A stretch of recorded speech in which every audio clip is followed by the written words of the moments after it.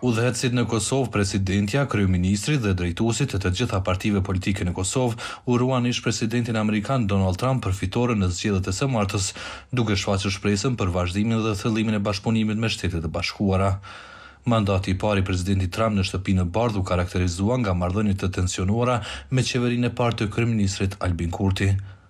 Shtëpia e Bardhë siguroi një marrëveshje për normalizimin e marrëdhënieve ekonomike ndërmjet Kosovës dhe Serbisë, e cila u nënshkrua në shtator të vitit dy mijë e njëzet nën praninë e presidentit Donald Trump.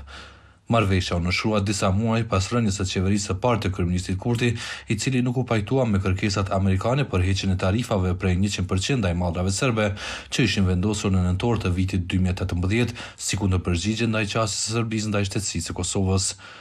Lidhja Demokratike e Kosovës, e cila ishte pjesë e pushtetit, u tërhoq nga koalicioni, duke çuar në rrëzimin e qeverisë së zotit Kurti, që u pasua nga një qeveri e re që nënshkroi marrëveshjen në Uashington. Kryeministri Albin Kurti, në atë kohë akuzoi të dërguarin amerikan Richard Grenell se është përfshirë duke çuar përpara votimin që rrëzoi qeverinë e tij. Zoti Grenell, një bashkëpunëtor i ngushtë i zotit Trump, është përfolur si kandidat për postin e Sekretarit të Shtetit në administratën e ardhshme të Presidentit Trump.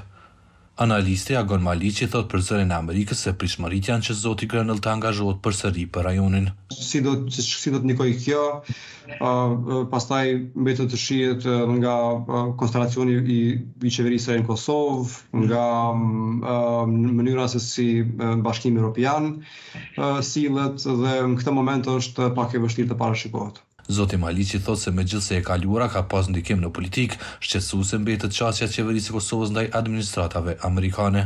Gjatë administratës Biden edhe pse kishim mospajtime të thella, pakënaqësi shumë të qartë të shprehur nga administrata Biden, megjithatë, Kish, kishte edhe një farë dhe mirëkuptimi mbi veprimet e qeverisë Kosovës dhe një farë tolerance për këtë lloj qasje. Gjë që dyshoj se mund të vazhdojë me një administratë amerikane e cila jo vetëm në raport me Kosovën, por me pothuajse çdo aleat të SHBA-ve, e ka një qasje transaksionale në kuptimin që ne do të jemi me juve për aq kohë sa ju jeni me neve. Një çështje që mori shumë vëmendje gjatë mandatit të parë të Presidentit Trump ishte edhe ideja e shkëmbimit të territoreve ndërmjet Kosovës dhe Serbisë si zgjidhje paqësore ndërmjet dy vendeve. Diskutimet zunë fill në verën e vitit dy mijë e tetëmbëdhjetë. Këshilltari për Sigurinë Kombëtare i Presidentit Trump, John Bolton, i cili u largua nga posti më njëzet e katër gusht të atij viti, tha se, Shtetet e Bashkuara nuk do të përfshihen në idenë për shkëmbimin e territoreve ndërmjet Kosovës dhe Serbisë, por nëse palët merren vesh nuk do të bëhen pengesë. Një ditë më pas, presidenti i Kosovës, Hashim Thaçi dhe ai i Serbisë, Aleksandër Vuçiq, në një debat gjatë forumit të Alpbahut në Austri, kërkuan mbështetjen ndërkombëtare për çfarëdo marrëveshjes që mund të arrijej në bisedimet e ndërmjetësuara nga Bashkimi Evropian, edhe nëse ajo nënkuptonte ndryshim kufish. Kjo ide u prit me reagime të ashpra në Kosovë dhe në Serbi, si dhe u kundërshtua nga një pjesë e vendeve të Bashkimit Evropian, mes të cilave Gjermania ishte më e zëshmja. I dërguari i Shtëpisë së Bardhë për dialogun Kosovë-Serbi, ambasadori Richard Grenell, mohoi disa herë që Shtetet e Bashkuara të kenë qenë pjesë e diskutimeve për shkëmbim territoresh. Këtë javë, kjo çështje u ngrit nga një seancë dëgjimore në Parlamentin Evropian për konfirmimin e kandidates për postin e Komisioneres së Zgjerimit të Bashkimit Evropian, Marta Kos, e cila tha se është kundër tendencave për shkëmbim të territoreve ndërmjet Kosovës dhe Serbisë. When it comes to the territory swapping, no. No, out of the question. Sa i përket shkëmbimit të territorit, jo, jo nuk bëhet fjalë.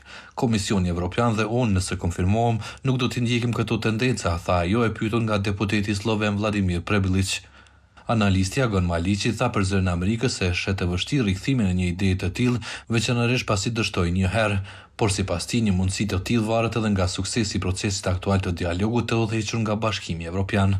Sa ma shumë që zgjatet ky dialogu i Brukselit pa zgjidhje dhe zhagitet më shumë,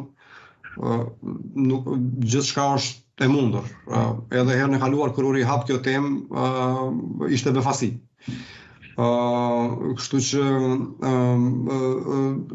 sa ma shumë që dështon dialogu i Brukselit për ta zgjidhur kontestin në kornizat e marrëveshjes së Ohrit, gjithmonë e ma shumë hapen mundësitë për zgjidhje të tjera alternative sepse edhe Kosova, po edhe Serbia po mbeten peng dhe janë të, domethonë, rruga e tyre integruse, sidomos e Kosovës në struktura euroatlantike, nuk është askund. Megjithatë, sipas zotit Maliqi, Kosova e cila është nën sanksione nga Bashkimi Evropian dhe me ndryshimin e administratës në Washington, duket se do të gjejë veten në një realitet të ri.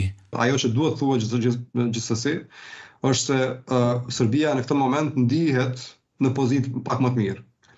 Që jo detyrimisht do të jetë e vërtetë, por perceptimi dhe ndjenja në Beograd është se se tani ata do të përballen me më pak presion rreth çështjes së dialogut apo se ata mund të, të kenë më shumë ndikim në diktimin e parametrave të dialogut dhe kjo është diçka që në Prishtinë duhet të ketë parasysh. Për Zërin e Amerikës, Leonat Shehu, Prishtinë.